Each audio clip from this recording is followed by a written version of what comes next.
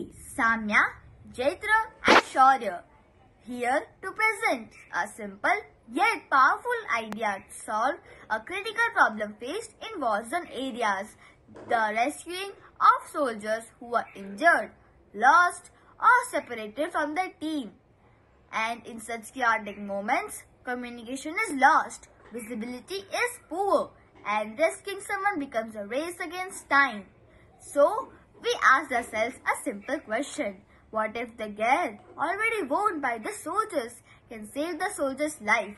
And that's how our idea came into existence, the GPS Helmet Rescue System.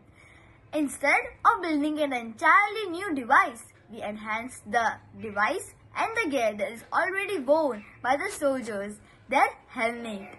And we have integrated reliable technologies and it is shockproof, waterproof and affordable.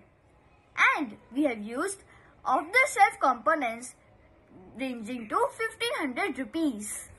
The system uses two GPS enabled helmets, one worn by the rescuer, the other by the survivor. When a soldier is in danger, the survivor helmet automatically sends a distress signal with accurate GPS coordinates. The rescue helmet receives the location instantly, guiding them directly to the survivor. This even works without radios, mobiles, or internet because the communication is completely peer to peer. To ensure reliability, our survivor helmet uses Arduino Nano for stable and low power communication and a ESP32 in the rescuer helmet for display management. Both of these use a receiver and a GPS satellite triangulation for accurate communication and location tracking to track any anyone from anywhere on the planet, even in the remote or infrastructure-less areas.